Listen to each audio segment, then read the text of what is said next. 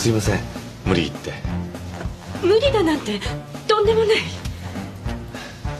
もう今日しかお話しする機会がないと思ったんで。ついに来た来た来た。あの。はい。あの実はお話ししたいことというのは。はい。実は北海道の学校に転勤することになったんです。ええええ白鳥先生から聞きました。そうだったんですか？はい。夏休みにでもぜひ遊びに来てくださいね。ええもちろんです。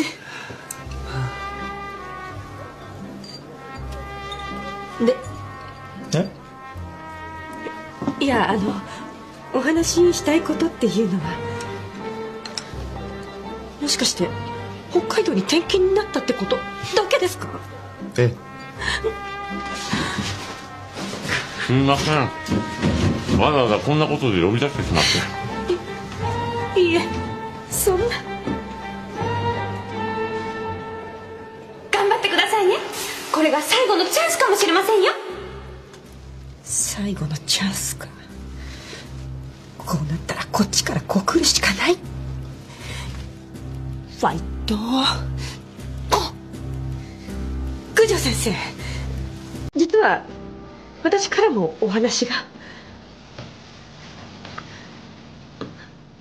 あのその実は初めてお会いした時から。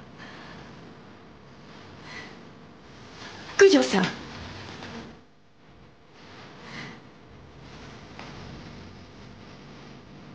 九条さん。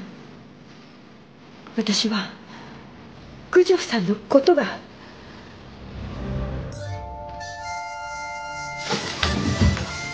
すすいません。いえ